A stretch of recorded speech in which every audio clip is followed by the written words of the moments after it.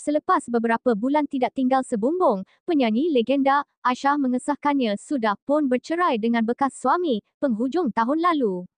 Mengulas lanjut, Aisyah atau nama sebenarnya, Wan Aisyah Wan Arifin, 57, mendedahkannya diceraikan dengan talak satu melalui aplikasi WhatsApp pada 25 Disember lalu.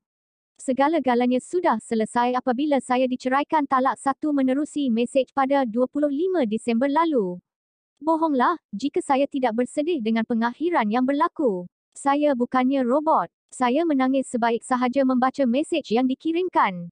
Namun, saya akur dengan ketentuan takdir. Walau apapun yang berlaku, hidup harus diteruskan, katanya. Walaupun kini kembali hidup bersendirian, penyanyi kemaafan dendam yang terindah ini berkata, ia bukanlah sesuatu yang suka kerana mempunyai dua cahaya mata lelaki, Arman Azari dan Azhar Ahlami sebagai sumber kekuatan. Ini bukan perkara baharu buat saya. Lagipun, saya pernah melalui pengalaman sama sebelum ini.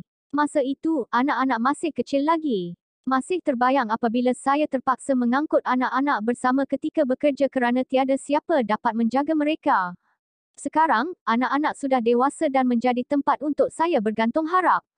Hidup saya kini hanyalah untuk anak-anak, luah penyanyi bervokal mantap ini.